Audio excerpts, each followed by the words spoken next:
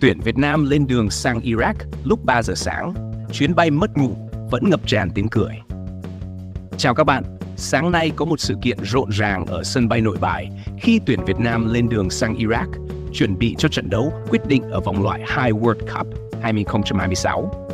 Hãy tưởng tượng cảnh các cầu thủ dậy từ 1 giờ sáng, mắt còn díp lại vì buồn ngủ, nhưng lại cười đùa như thể vừa thắng sổ số. Chỉ sau hơn một ngày ăn mừng chiến thắng trước tuyển Philippines, các chàng trai áo đỏ lại phải kéo vali ra sân bay vào lúc 3 giờ 30 sáng ngày 8 tháng 6. Có lẽ họ đã tự hỏi, không biết mình đang đi đá bóng hay đi dự thi marathon thức đêm. Dù phải thức dậy sớm hơn cả gà trống gáy, nhưng không khí vẫn vui vẻ đến lạ. Tiếng cười nói dâm gian cả khu vực sân bay. Chắc các nhân viên ở đây cũng phải ngạc nhiên. Đội tuyển này có bí quyết gì mà vui thế nhỉ? Sau khi bay đến Doha để nối chuyến, đội sẽ hạ cánh tại Basra, Basra, Iraq vào 10 giờ Khmer theo giờ địa phương, tức là 14 giờ giờ Việt Nam. Các cầu thủ sẽ phải trải qua một hành trình dài tới 10 tiếng ngồi máy bay. Chưa kể chênh lệch múi giờ, chắc chắn đến nơi là các anh chàng sẽ thành những chiến binh gấu trúc mắt thâm quầng. Tuy nhiên, dự đoán là buổi tối chỉ tập nhẹ, không phải chạy marathon nữa.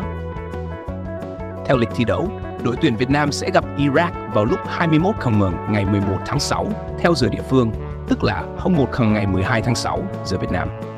Thầy trò high over Kim Sang-sik sẽ có cơ hội biết trước tình hình vì Indonesia sẽ đá với Philippines vào lúc 19 giờ 30 ngày 11 6. Nếu Indonesia thắng Philippines, tuyển Việt Nam sẽ chính thức xách vali về nước mà không cần quan tâm đến trận gặp Iraq. Nhưng nếu Indonesia không thắng thì các cầu thủ của chúng ta sẽ có thêm động lực để biến sân cỏ Iraq thành sân chơi của mình. Ý kiến cá nhân Thực sự, tinh thần lạc quan và đoàn kết của tuyển Việt Nam rất đáng khâm phục. Dù chuyến đi này là một thử thách lớn, nhưng với niềm tin và quyết tâm, hy vọng các chàng trai áo đỏ sẽ làm nên chuyện. Các bạn nhớ theo dõi và cổ vũ cho đội tuyển nhé. Và đừng quên, hãy nhấn like, chia sẻ và đăng ký kênh để không bỏ lỡ những tin tức thú vị và hài hước nhất về bóng đá Việt Nam. Cảm ơn các bạn đã dành thời gian để lắng nghe. Nếu thấy thông tin mình chia sẻ có giá trị, đừng ngần ngại bấm like, share và đăng ký để tạo động lực cho mình duy trì kênh nhé. Chúc các bạn nhiều sức khỏe, thành công và may mắn.